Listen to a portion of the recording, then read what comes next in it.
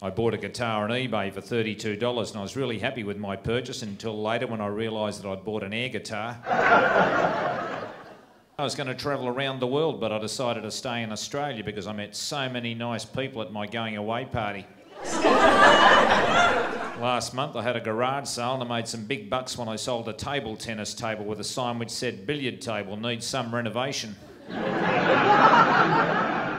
I have a total of three and a half alcohol free days a week.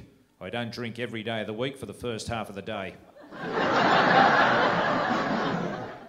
got thrown out of an art gallery during an exhibition of nude paintings because I streaked. And they wouldn't accept my argument that sometimes life imitates art. I hate it when you're at Luna Park sitting down having a big yawn and somebody tries to stick a table tennis ball down your throat.